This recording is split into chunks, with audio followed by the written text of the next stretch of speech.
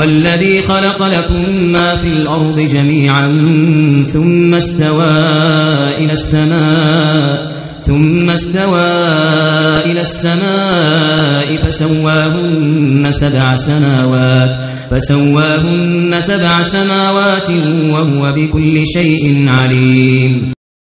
الآية الكريمة دي والآية السابقة مرتبطين جدا ببعض. في الآية السابقة استنكر الله عز وجل على الكافرين الكفر والشرك. وكان لابد من دليل على وحدانيته فأعطاهم أولا دليل من أنفسهم ثم أعطاهم دليلا أقوى وأوضح على وحدانيته. والدليل ده لا مجال فيه للنقاش أو الجدال.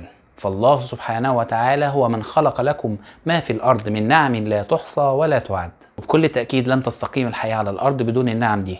فالله سبحانه وتعالى أمدكم أيها الكافرون بكل هذه النعم برا ورحمة. ثم قصد الله عز وجل بما يليق بوجهه الكريم فخلق السماوات السبع على أكمل وجه لا خلل ولا صدع ولا شكوك وهو بكل شيء عليم علما تاما وإحاطة كاملة فلا يخفى عليه شيء في السماوات ولا في الأرض.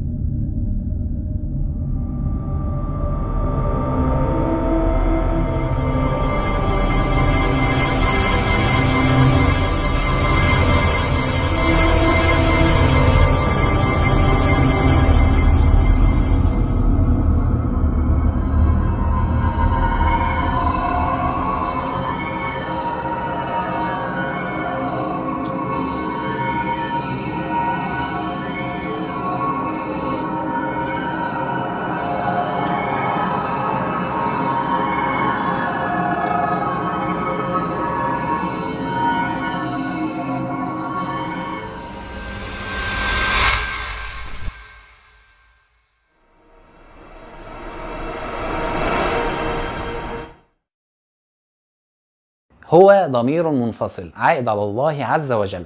ولأن الله عز وجل هو من خلق لكم ما في الأرض جميعا ففي قاعدة فقهية نقدر نستنبطها من هذه الآية وهو أن الأصل في الأشياء هو الإباحة والطهارة حتى يثبت العكس. في الدنيا الواسعة دي كلنا بنجري على لقمة العيش ولازم ناخد بالأسباب لكن مفيش داعي للقلق.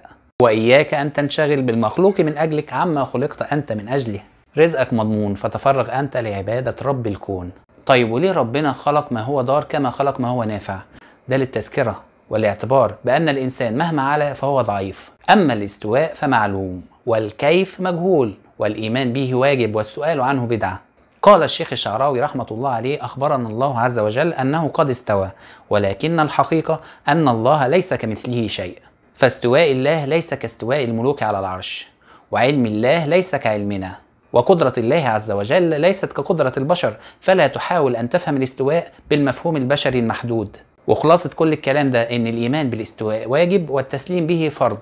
فسواهن سبع سماوات. في الآية الكريمة ذكر الله عدد السماوات فماذا عن الأرض؟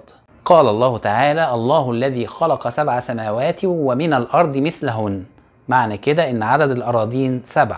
وعشان حضرتك تقدر تنتقل ما بين سماء والتي تليها محتاج مسيرة 500 عام. يا ريت تشيروا الفيديو علشان تعمل فائدة. جزاكم الله خيرا.